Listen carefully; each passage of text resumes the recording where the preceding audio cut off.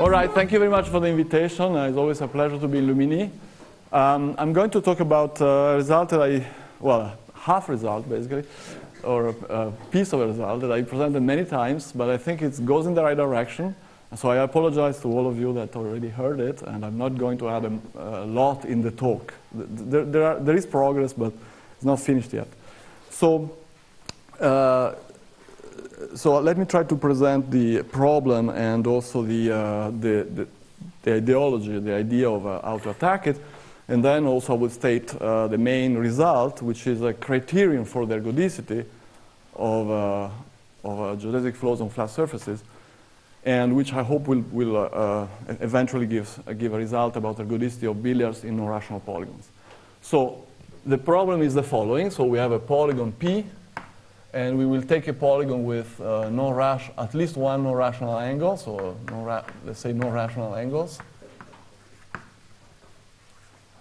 And we look at, so this is our polygon. We look at the billiard flow. And uh, the billiard flow uh, takes place in the phase space. So let's say that it takes place in a table cross S1 because we need the unit tangent vector. Well, uh, a, a, step that we take immediately is to, turn, to, turn, to eliminate the boundary from the picture and take a double. So if you take a double, then we have a, uh, we take two, two copies of, of P and we glue along the edges, uh, along the edges, and we find a flat sphere. We find a, a flat sphere that I will call S uh, mostly, and I will call M the unit tangent bundle of the flat sphere, and this is our phase space. And what we are really studying is the geodesic flow on this, on this, on this M. So very good. So uh, this is not, clearly is not a translation surface uh, because I'm assuming no rational angle. So uh, there will be non-trivial holonomy around the cone points. And this, will, of course, will have uh, consequences. So the, what, what, what, what is it known about uh, this, this kind of uh, systems? Well, my, the problem I'm interested in is ergodicity ergodicity. So there is, uh, of course, uh, the result of Kerckhoff Masur-Smillie, which I think is 86, uh, which says that there exists a G delta dense uh, set of polygons, uh, well, fix the number of edges, uh, and, and, then there is a G, del G delta dense set of polygons, which are ergodic,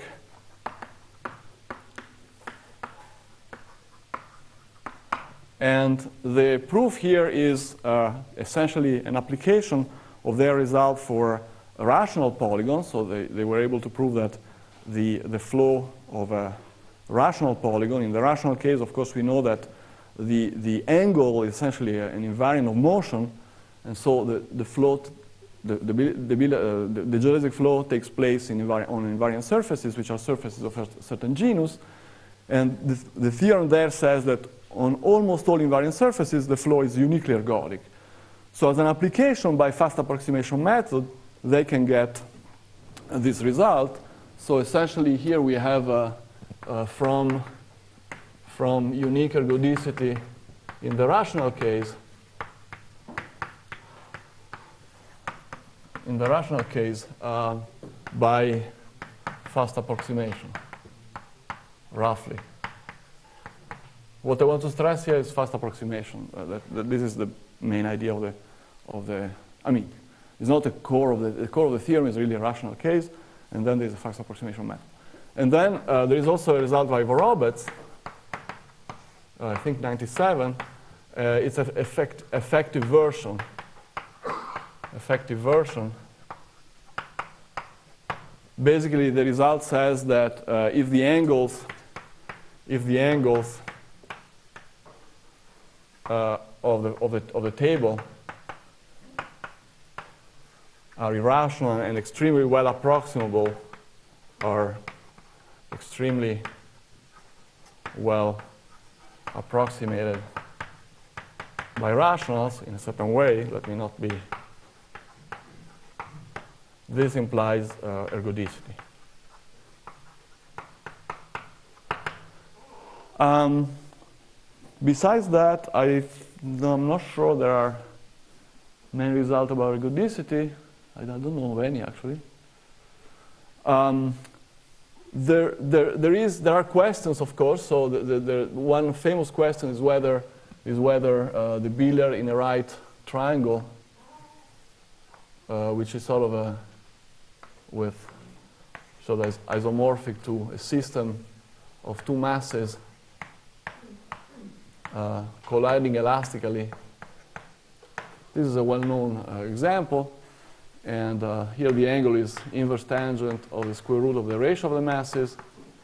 So motivated by this Hamiltonian system of two masses colliding elastically among each other and with the endpoints of an interval, uh, which system which is isomorphic to a, essentially to a billiard in a, in a right triangle, there was a question whether uh, this would be ergodic for almost all choices of, uh, of, the, of the one parameter. There is one angle to choose.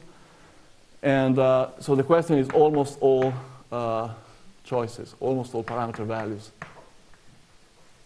Uh, par parameter values uh, imply ergodicity. Okay, so let me say at the outset that this is, this is really delicate and it's definitely far from uh, the scope of what, whatever I can ever do. And uh, it, it's interesting to, to look at numerical studies. I mean, th there are numerical studies by several group of people, uh, many Italians. And numerical studies uh, claim, claim something like acute, acute, acute uh, triangles, no rational acute triangles we are we mixing, uh, I'm sorry, are mixing even and, uh, and at first, uh, right triangles, always not rational. So maybe I, I won't repeat all the time not rational. I'm assuming that they are, actually, in fact, I'm assuming that they are as irrational as they can be in the sense that there is only the trivial relation. So when, when, when, when we have a right triangle, this is a rank one situation. We have only one irrational, free irrational. And when, I, when we look at acute triangles, we have a rank 2 situation. We have two free uh.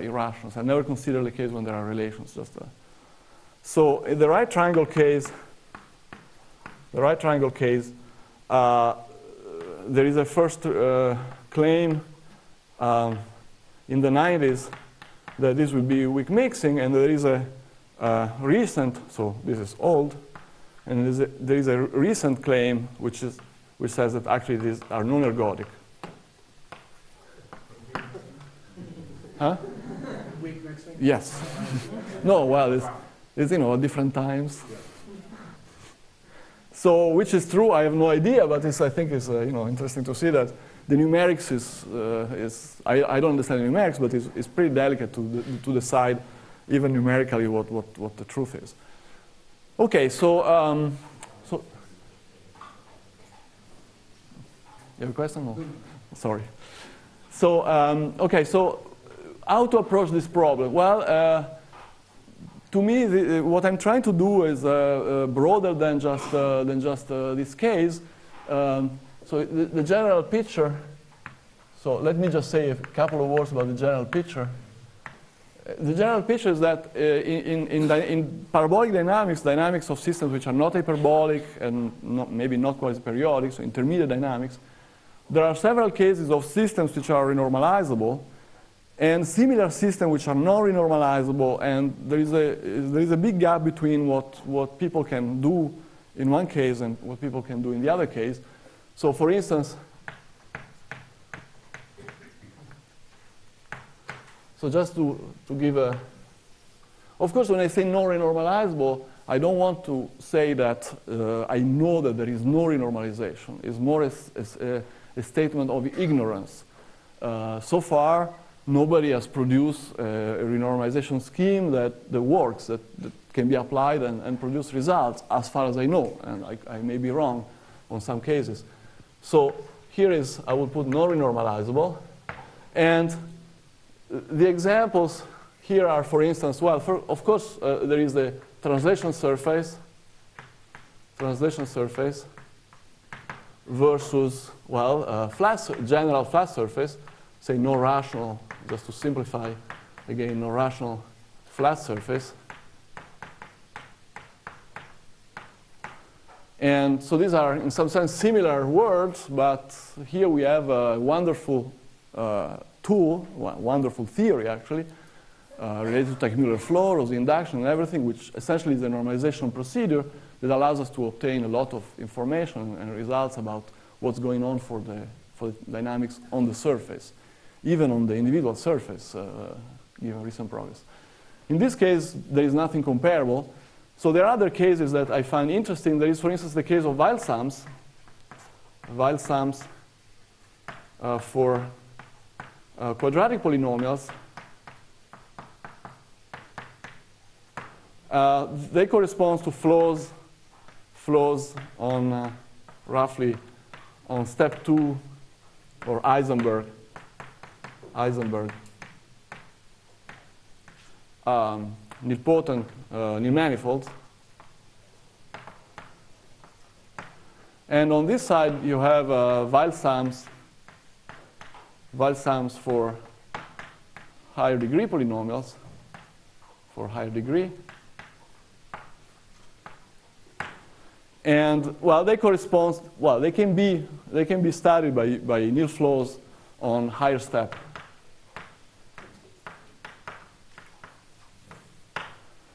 And uh, well, the difference again here is that, well, it's known basically since Hardy and Littlewood in, in 1914 that the quadratic case has a, has a, a, a self-similarity, so it, it, can be sort of renormalized.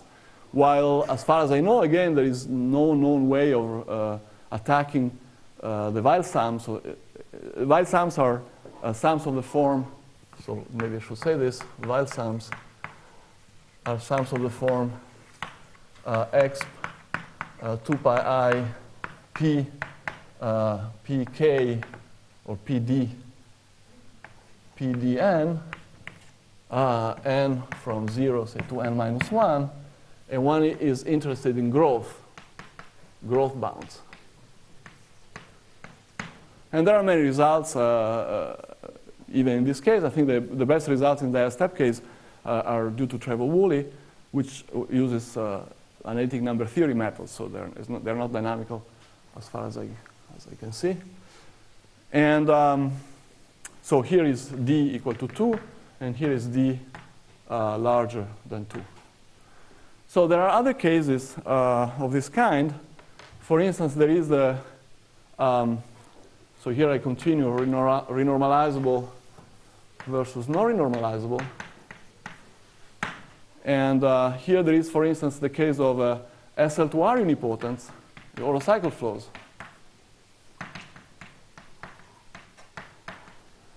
Well, they are, of course, renormalized. They are renormalized, renormalized by geodesic flow. And here you can con consider uh, unipotence, unipotence in, say, for instance, SL2R, uh, cr cross SL2R, of course, acting on some quotient, acting on, say, compact quotient or finite, uh, finite volume quotient. So this is easily normalized. There are a lot of papers, including a paper I wrote with Livio Flaminio about uh, speed. In this case, the question is more the speed of equidistribution than just uh, ergodicity. Unique ergodicity is known, it's quite classical. In this case, one, one is more interested in, in effective, effective results. So in all these cases, I'm, I'm, I'm talking about uh, one is really interested, they are homogeneous, and one is really, really interested in effective uh, results rather than just uh, ergodicity results. So So there are all these cases where one, one has a system which is normalizable and then a similar system which is not renormalizable. So what, I, what I've been trying to do is basically to, uh, to take the point of view that uh, uh, when there is no self-similarity, maybe the, uh, one can still uh, uh, get result by simply giving up some, some part of renormalization idea, which is essentially that there is a rescaling of the system followed by a change of coordinates. And in this case, uh, uh, the idea is that there will be no change of coordinate, there will only be uh, rescaling. So these are rescaling, rescaling methods, rescaling approach. So to, to, I guess to make this a little bit more understand, I'm not going to talk about the other, the other cases. Any questions? I'm not going to talk about the other case. I'm going to just come back to what? I'm going to come back to, to the case of uh, translation surfaces and, uh, and, uh, um, and uh, flat surfaces. So for translation surfaces, let me give you a caricature.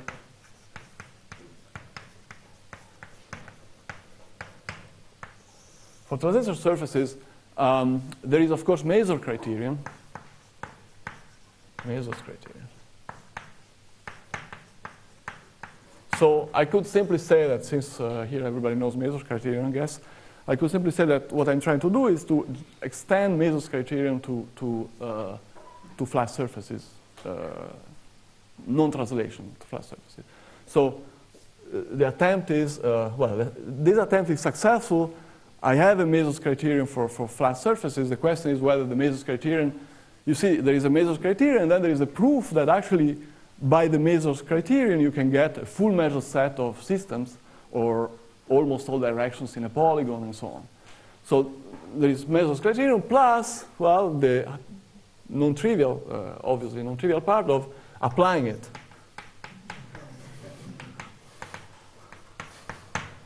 So here is the part where I'm essentially, well, stuck is probably not the right word, but maybe it is in some sense. So it's slow, slowly moving, very, very slowly moving. So the Masur criterion is okay, and, I, and, that's what I'm going to explain today. Uh, I mean, uh, at least in, uh, I mean, uh, some, some, some ideas, and the statement, of course. So, so the Masur criterion, uh, let me interpret it in the following way. So I, I want to think of a metric in this case, we have a flat metric on a translation surface. So a flat metric on a translation surface is given by two vector fields.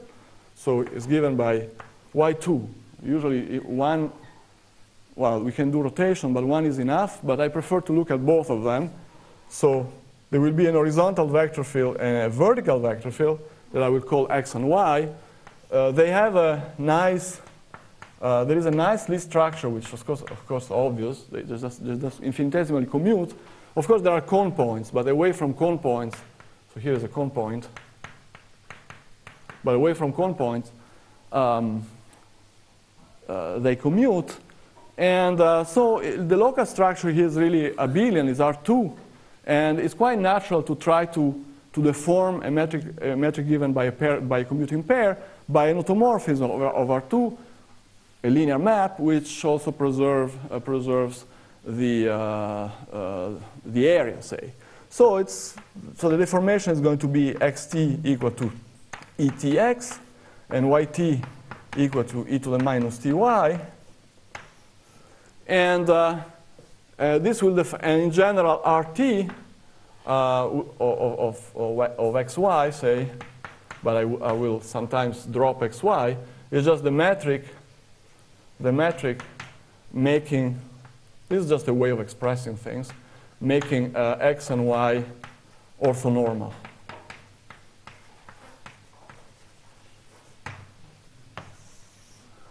All right, so Masur criterion basically says the following. It says that if this metric is not degenerating too much, too fast, or not at all, I mean, not at all, it's extreme case, but if the metric is not degenerating too much, then, we, then the x flow uh, is uniquely ergodic. So, so RT uh, not, not escaping to infinity, well, in some sense, which in this case is precise, implies uh, flow of x, flow of x uh, uniquely ergodic.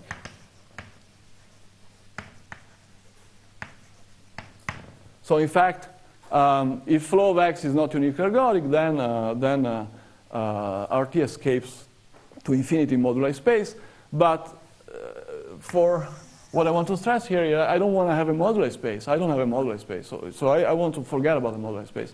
So what I'm going to say is that, well, uh, simply the fact is that uh, I look at the systole function, uh, the systole function, uh, delta, uh, delta of t equal to delta of rt. And if this goes to zero, goes to zero sufficiently, in fact, sufficiently slowly, uh, slowly,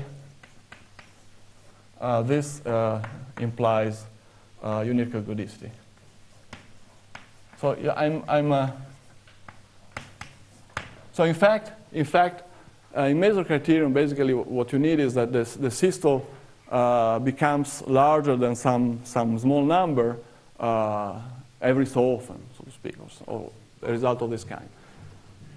There is a, there is a more, there are more precise results. Uh, the first one is, is just to, just to mention that uh, work on this direction. There is a paper by Cheung Eskin, uh, slightly improved or improved a bit by my student Rodrigo Trevino, that basically make this a bit more quantitative. And the, the result of Trevino in particular says that if the integral of the square of the systole is infinite, then, uh, then uh, the flow of x is uniquely ergodic. Now, I, I, I, think that there is, one can do better. In fact, uh, uh Rodrigo and Jon Chaika have probably, uh, they told me that they have a result where they can do better. And they can, in fact, prove that uh, Masur log law implies unique ergodicity, which is, I think, uh, nice.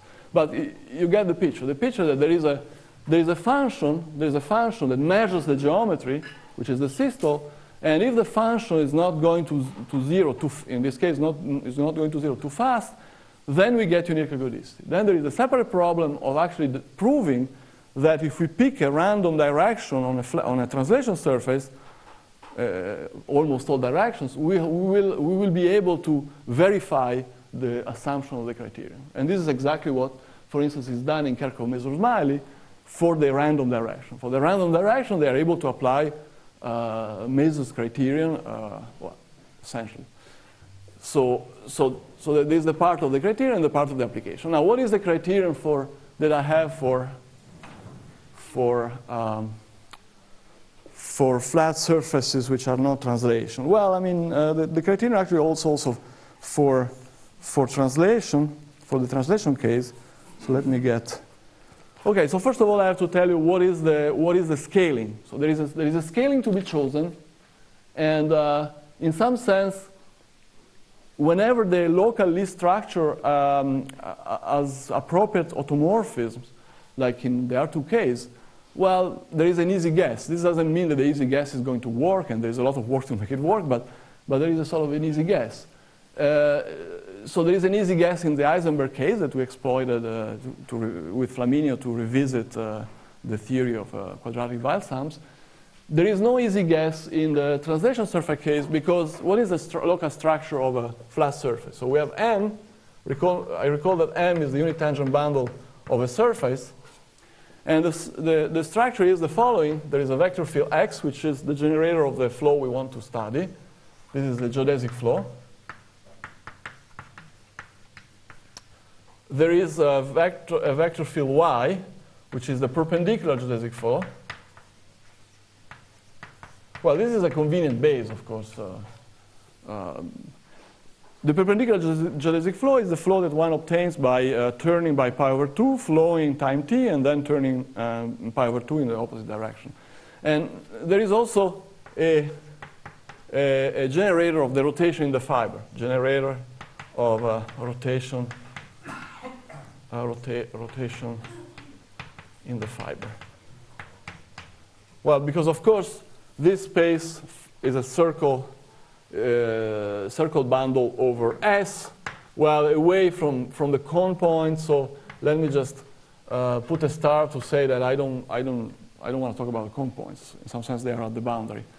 So there, there is this, uh, this frame, and uh, this frame satisfies the following, the following uh, commutation relations.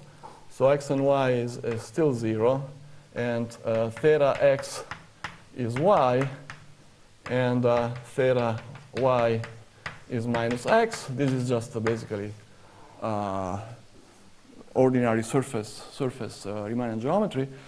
And uh, the, this is a solvable group and doesn't have a proper automorphism. So there's, there's, there's no way of scaling this, this metric by an automorphism of the Lie group. Uh, so there is no way in particular of preserving the commutators. So, so, so this idea that we may have recurrence in our scaling is lost by the very nature of the algebra of, of, the, of, the, of the local structure. So, okay, what is the scaling? Now, the scaling doesn't come from, from uh, a guess, although I can, I can say a few words about why, in some sense, a posteriori uh, may seem to be natural, uh, but, you know, this is just essentially uh, heuristic, a posteriori heuristic, so it doesn't, doesn't hold much, much weight. So the scaling is the following. So I will, I will consider, no, I will call the parameter S from now on, not T, because it's not time. There is no, there is no Teichmüller dynamics, unfortunately. Uh, if I could do it with the dynamics, I would do it, but I don't see any dynamics. So it's a really a scaling parameter. So we are going to scale the metric in the following way. And this is uh, the metric which uh, uh, is a metric uh, is a metric such that uh, such that the following so x is scaled uh, x and y are, are, scaled exactly as in Teichmüller case. This in particular means that if you do this forgetting about theta, you recover you recover a good theory of of uh, criterion for translation surfaces, which in particular can give a Treviño's result uh, uh, if, you, if, you, if you work on it. And uh, uh, so it's in some sense, uh, this is just an extent, there is an extension to, I'm sorry, I should put xs, ys, and theta s. And here is e to the minus 2s theta. Okay, so this is the this is the scaling. And as I said, the scaling comes out of the proof. So the proof of the criterion gives this scaling uh, as, the, as, the, as the best uh, doable, as the best doable with the best I can do. Now, in what sense there is some uh, reason to think that this may be natural? Well, uh, the way I think of this is uh, may, may, maybe stupid. Uh, so if you think it's stupid, you just tell me. So the way I think of this is that if you look at Cheung-Eskin proof, in some sense the main point is that when, when you have a renormalization uh, in Teichmüller case will tell you that if you, look, uh, if you look in, uh, in the phase space, you will see often um, orbit segments of length capital T surrounded by in, in rectangles of approximately size 1 over T.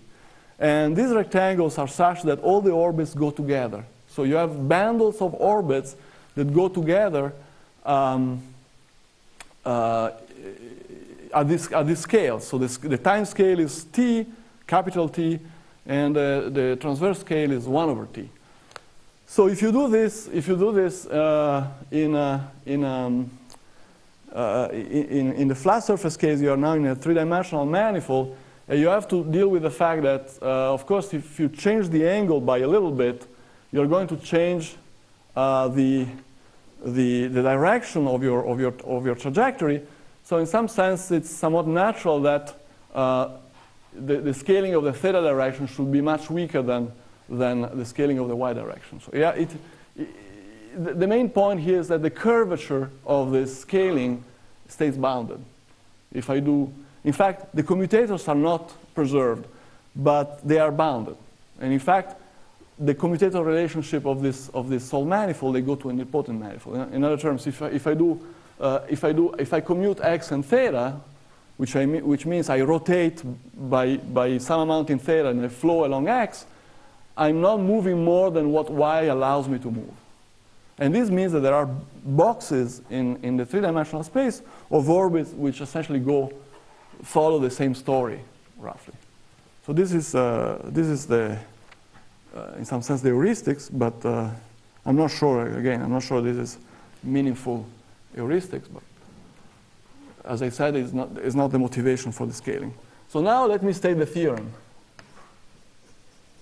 And uh, I will just write it down, and then I, I you know, it, it's, uh, it's not immediate to digest, so, so uh, I will add comments. So, so here are the hypotheses. So let me try to be clear what is an hypothesis. So I, I want to assume the following. So, so uh, I could ask for all, something for all parameters, but really the, the, the full statement is that the, I, assume that there exists some set um, P. Um, this set has to have positive lower density.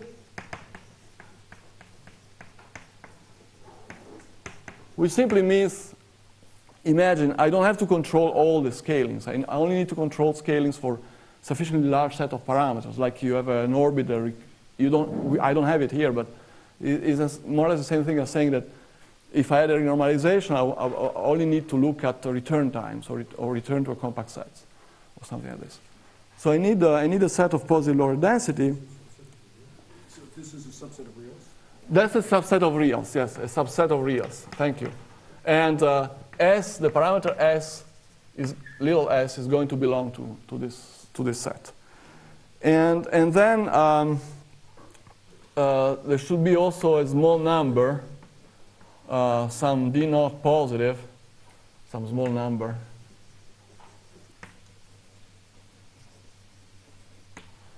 And uh, for, for any d, so now I choose s uh, for any s in p and little d less than d naught, I want to have an open set, so there must exist an open set that will depend on S and on D, which has to uh, open connected.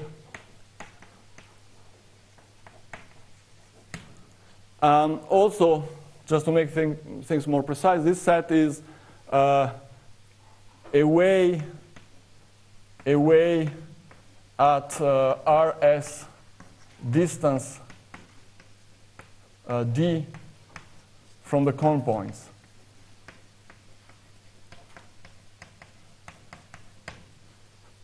So this is also, you have to require that. So you have to think of this as, as a, a inverse approximation as a set that you obtain by throwing away D neighborhood of the cone points with respect to the RS metric. So this is the scale metric.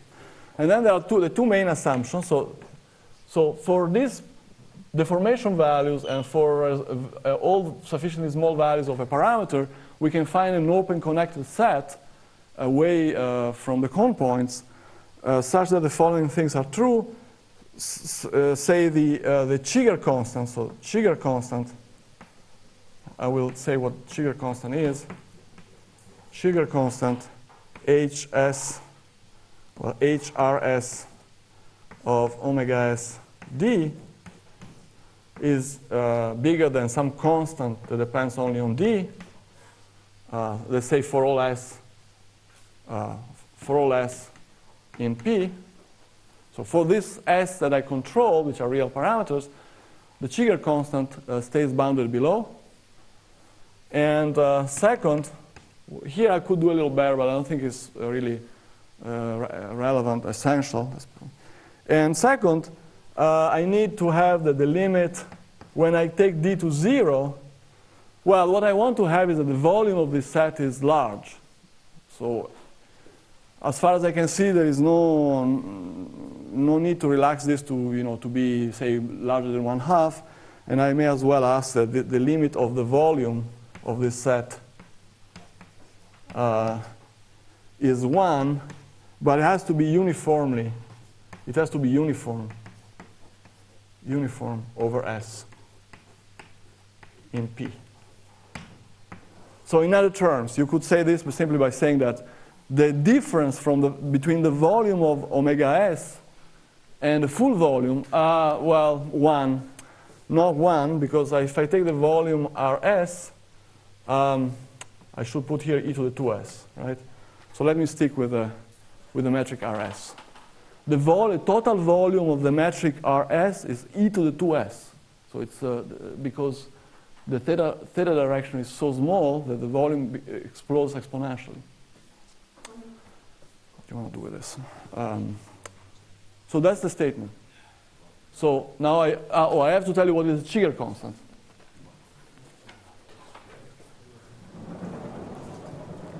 So the Cheeger constant here replaces, replaces the systole. In fact, if you are on a surface, the, the systole is a good, uh, a good proxy for the Cheeger constant. Essentially, you can easily bound the Cheeger constant by, you can give a lower bound uh, using the systole for the Cheeger constant. Yes? Oh, I'm sorry, yeah, you're right. So these are the assumptions. The conclusion is, of course, that flow of X, which is geodesic flow, is ergodic. Yeah. Thank you very much, Rodrigo.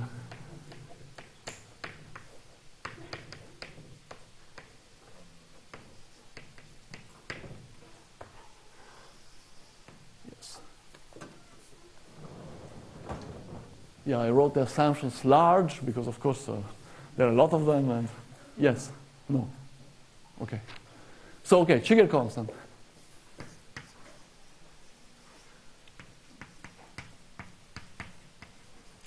Cheeger constant HR of omega is, uh, let's see, it's uh, the infimum over sigma separating surface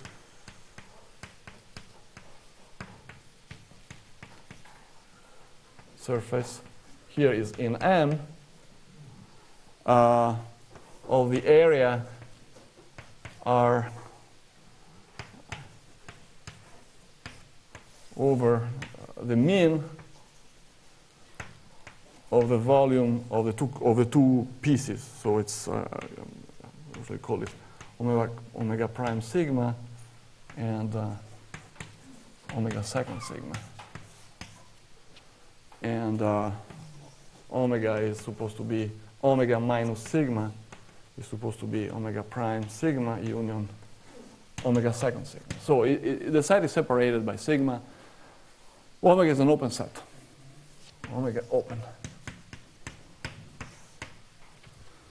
So th this is the definition of the Cheeger constant.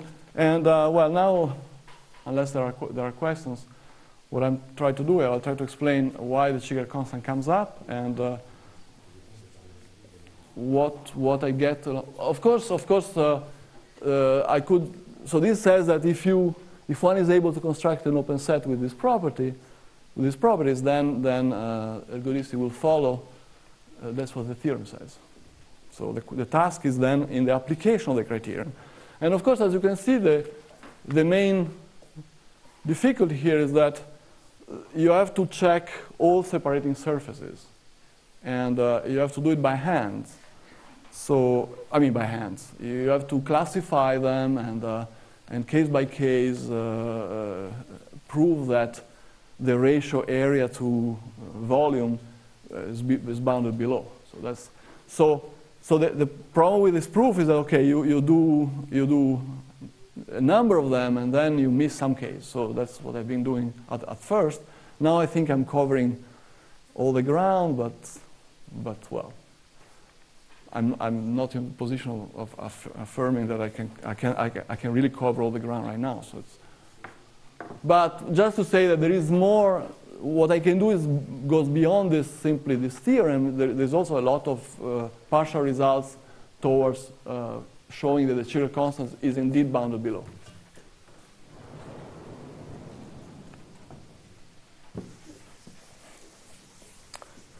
So let's see, how much time do I have? Uh, here.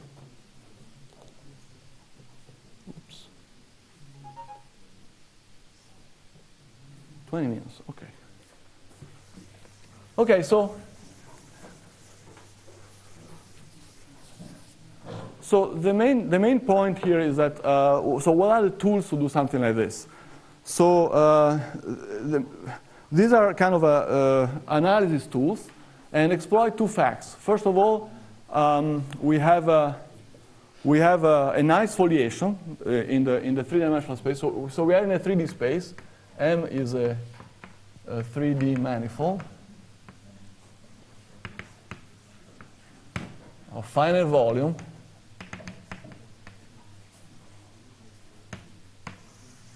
And inside M, there is what is called the holonomy foliation.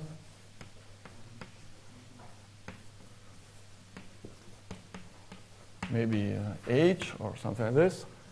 And this foliation can be described in several ways, but maybe the simplest one is that the foliation tangent to tangent to this distribution x, y, or given by given by parallel transport of, uh, of uh, unit vectors.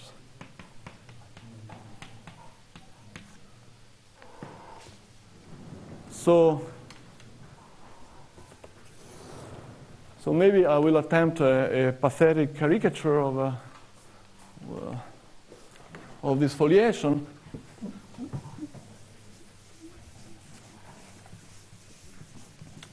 One way of thinking about it, I don't know, there are maybe better ways, but the, na the naivest way to think about it is that let's, let's say that we have, a, we have a sphere. So S is a sphere with two cone points, uh, three cone points, which corresponds to a triangle. For instance, you, you would come from a triangle. And then, uh, so, so you have these spheres, and you can, you can cut, cut them along two, uh, two edges, two, two, two straight segments joining two cone points. And in this way, the complement is simply connected. So now I can arrange them in a Z2 lattice. Well, the picture is probably too, too large here, but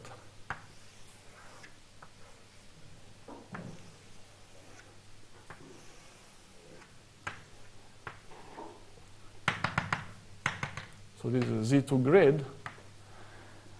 And then uh, I, you can think of these segments as, as, uh, as being doors. So this is a leaf of the foliation. Of course, it's just one leaf. By the way, uh, I should mention that uh, the leaf of this foliation uh, are what is called, uh, it's been proved by Ferran Valdez that they are Loch Ness monsters, meaning that well, this picture, I'm sorry, this picture is in the case where the, is in the rank 2 case rank 2. Otherwise, it wouldn't be like this. So a Loch Ness, a Loch Ness monster uh, means that it's an infinite genus surface with just a single end. And uh, the way, so it's a Z2 grid of this, and you can put here, say, um, for instance, here you go up. If you cross on this side, you go up. So you go to the sphere here. If you cross on this side, you go down.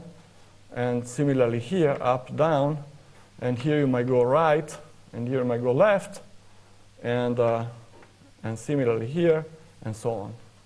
So in every, in every sphere, I put one door, one side of the door brings you down, and the other side of the door brings you up. And uh, on the other segment, one side of the door brings you right, uh, and the other side brings you left. And then you can travel uh, in this Z2 grid in this way. So this is a caricature of, uh, of a one leaf, one leaf, a leaf of H. Okay, now a challenging task of getting the, what is the right one? Yes. So there is this foliation. This foliation has a translation surface. Uh, of course, it's non-compact, and uh, the main point is that uh, it has a nice, of course, obviously as a translation surface as a complex structure, and one can talk about uh, uh um, holomorphic function, foliated holomorphic function. Yes? No, this is just a topological, uh, just a topological picture. Yeah, yeah. I mean, it's, so if you want, it's a geometric picture, but uh, but yeah, in the, in the, in the original geometry. Yeah, this is uh, also a remark that as soon as I, as soon as I uh, distort the geometry, uh, the distorted geometry doesn't come from a flat surface anymore. So it's some metric on the three-dimensional space, but it's not a metric coming from a flat metric on the sphere anymore. And this expresses the fact that the commutation relations are, are, are broken by, by the deformation.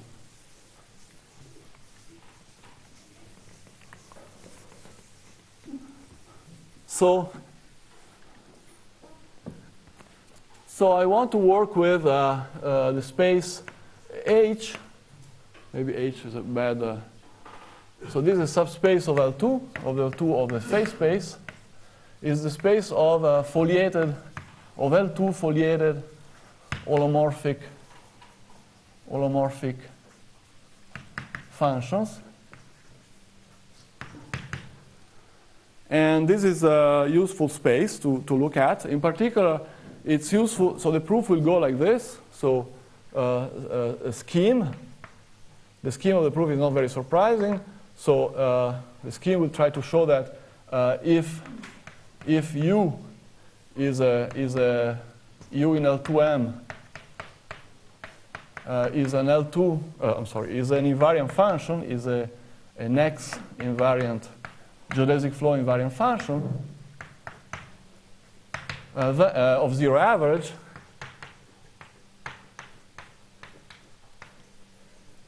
uh, then u is zero. So that's the scheme of the proof. So it's not surprising. So we start with, a, with, a, with an L2 invariant function, and we try to get uh, some, uh, essentially, it's a smoothing procedure. So it's, it's a smoothing procedure. You can view it as a smoothing procedure, uh, which, which uh, gives approximations, uh, well, a family of approximations of u uh, by smooth functions with, with control, control on, on derivatives, on scale derivatives.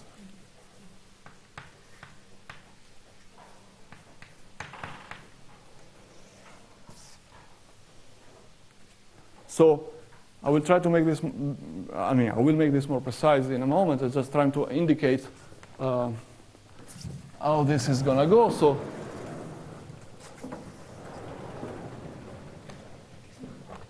So the first step is to is to project to consider the orthogonal projection of uh, of, uh, of of u of the invariant function on the space of uh, holomorphic functions. So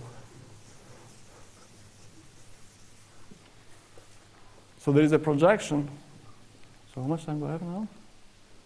Oh, 12 minutes. Okay. So, so there is u, and uh, u gives a, um, a function little hs, which is the orthogonal projection, orthogonal projection of u onto uh, hs, which is the space, the space of uh, holomorphic holomorphic uh, or foliated or foliated uh, holomorphic holomorphic functions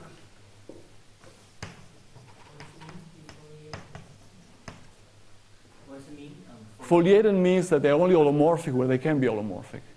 Or it means, it means something to be holomorphic. You can only it means it means it's holomorphic on the leaves of the of the Holonomy foliation because it's it's a tree space right? So but in this tree space there are all these leaves which are trans- infinite i mean non-compact translation surfaces. And all those uh, of course you can talk about holomorphic. And in fact let me pre- make precise what is hs hs is the is the kernel of the the formed cauchy-riemann operator so uh, hs is just uh, the kernel of e, to, of e to the sx plus i e to the minus sy. So this is basically the definition. It's the L2 kernel of, uh, of this space, which is a deformed. So, so far, you can do this on a translation surface. Fine, you do it and it works. So there is this, this space of the uh, deformed, of, of foliated holomorphic function for the deformed metric. And, uh, and I want to project u on, on this space. Uh, Of course, I get a function which depends on the parameter s. And, uh, and then there are some calculations. And these calculations show the following. So there is a theorem or lemma, maybe proposition.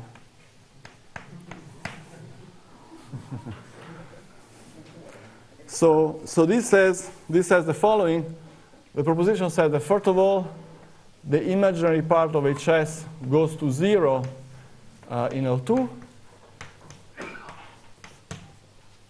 and the real part of HS goes to U in L2. Well, that's I'm cheating a little bit uh, here. I, uh, here is where uh, some, some set, some choice of parameters is, is needed. This is for S along, along a set of uh, full upper density. I mean, there, there, are many S's for which, for which this takes place. And uh, so we are approximating here the L2 function, which is supposed to be invariant. Of course, uh, it, it, it, doesn't exist. But I mean, I mean, no, it can exist. It can exist because I'm not assuming anything here. It's, it's just a, it's just a flat surface, and uh, and the real part uh, will converge to U. Uh, well, there are some cheat uh, also because, of course, the HS could be zero. Uh, it, it, there is a separate part of the proof that shows that if HS is zero, then U is zero. So it can be an invariant function for the geodesic flow cannot have a zero projection without being zero itself, uh, which is not obvious, of course, but not hard. And, uh, and then, so, so far so good. Then the next step is uh, application of a, a Cauchy-Riemann equation. And the, idea is simply the fact that um, you see, the real part goes to u, but the imaginary part goes to 0 in L2, and one can estimate the gradient of, well, the gradient S, the, the, the, the foliated gradient. So let me call ds the foliated gradient uh, with respect to uh, x, well, xs and ys. So here uh, we are really working like we were on a flat surface. The only difference is that we have a, we have a finite volume. So it's a mixture of, uh, it's a foliated version of, uh, of uh, what we do in, uh, or we can do on, on, a translation surface. So the foliated gradient, of course, can be estimated by Cauchy estimates in terms of the L2 norm um, of the imaginary part, which goes to zero, so it goes to zero, but the gradient of the imaginary part is the same as the gradient of the real part.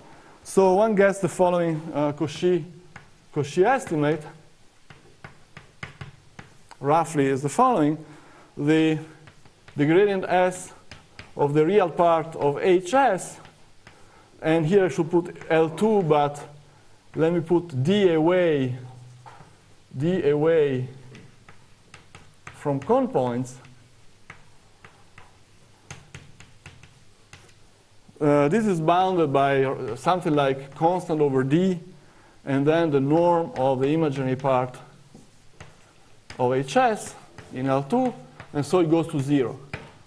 And it, it goes, uh, yeah, it goes to zero uh, in some way that can be slightly estimated, but not really, not really um, uh, in a very effective way. So so the, all this is sufficient to, to get, uh, to get ergodicity, unique ergodicity, well, to get ergodicity first for, for translation surfaces. So, uh, so far we are not dealing with a, with a, with a theta direction. So I won't say a lot about the theta direction, but something yes.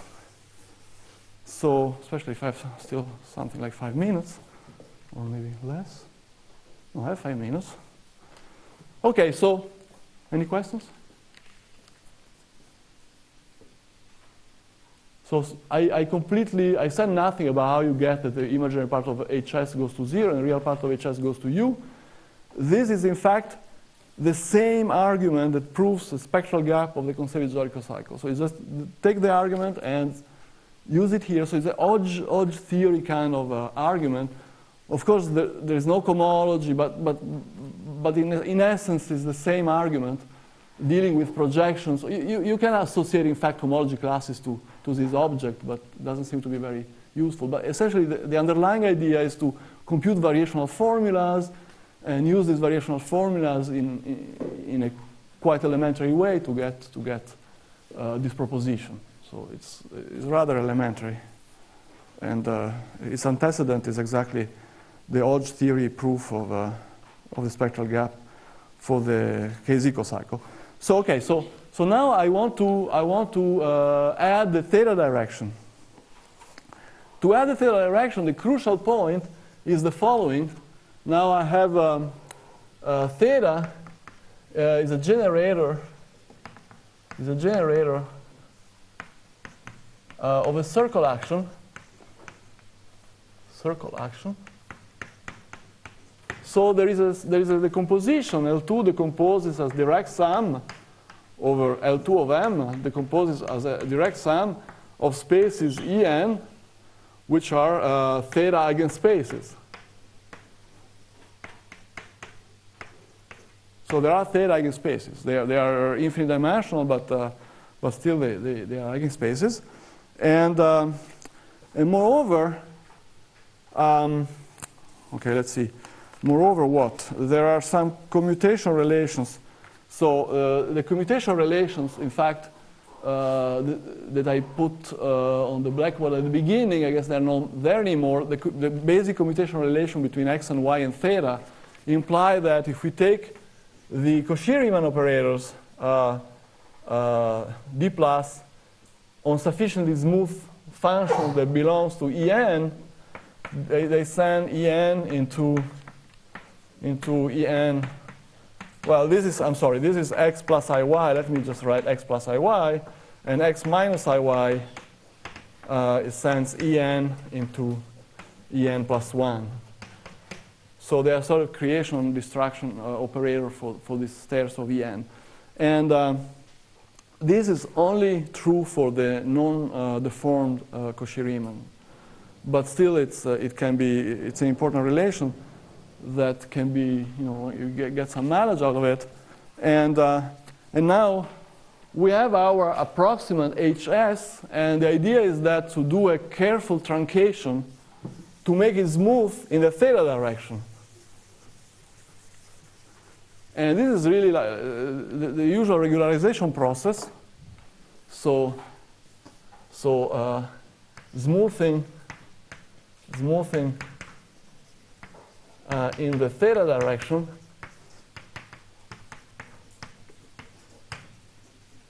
Uh, is done by uh, somewhat careful, careful truncation.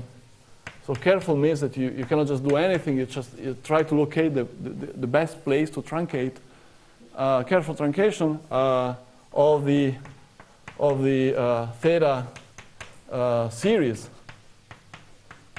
of, uh, of HS. So that's the first step.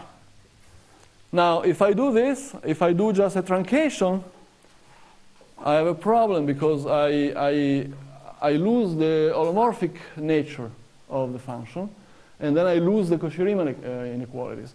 So this has to be followed, followed by a perturbation that one can control uh, that restore restores the holomorphic property. So this in, in, in words is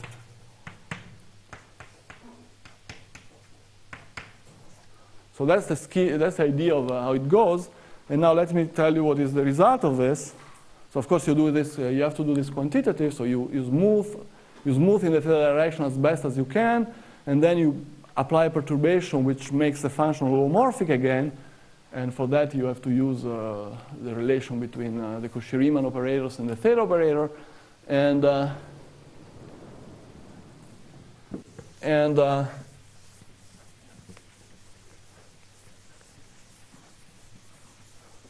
And then uh, this, the, the output of this is the following. So again, let's call it proposition.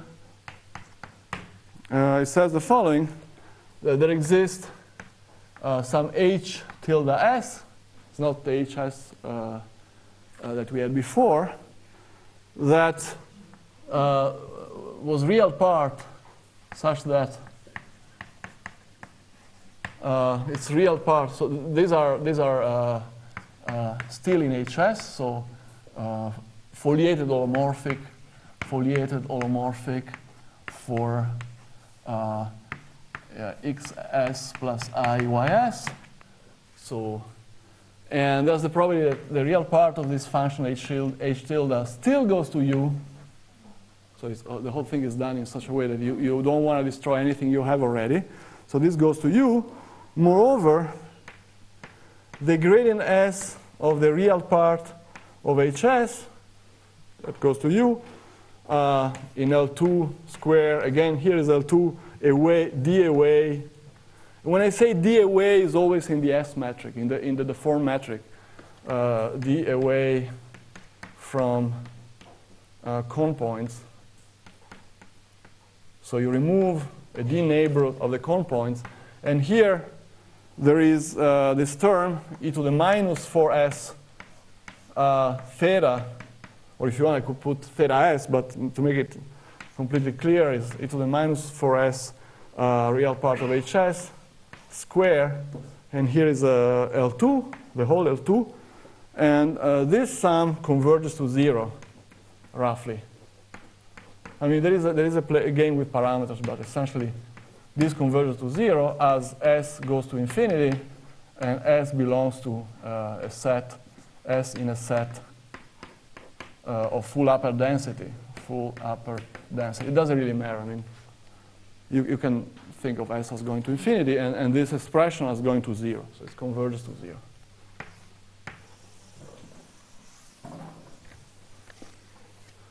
Now this means that we have, a, we have approximated our L2 invariant function by a sequence of smooth functions whose gradient in a certain metric is going to zero. And the Cheeger constant is exactly the, the, quantity, the geometric quantity that tells us that, uh, that uh, uh, if, if uh, uh, well, it tells us that uh, a function with these properties has, has to converge to a constant.